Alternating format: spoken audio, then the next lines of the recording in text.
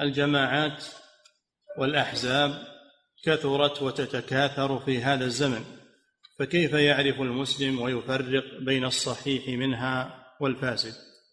يعرف هذا بالكتاب والسنة يعرض أقوالهم ومناهجهم على الكتاب والسنة فما وافق الكتاب والسنة فهو حق وما خالف الكتاب والسنة فهو خطأ أو ضلال.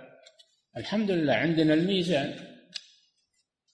فإن تنازعتم في شيء فردوه إلى الله والرسول. إن كنتم تؤمنون بالله واليوم الآخر ذلك خير وأحسن تأويلا وما اختلفتم فيه من شيء فحكمه إلى الله. ذلكم الله ربي. عليه توكلت وإليه أنيب. فنرجع إلى الكتاب والسنة.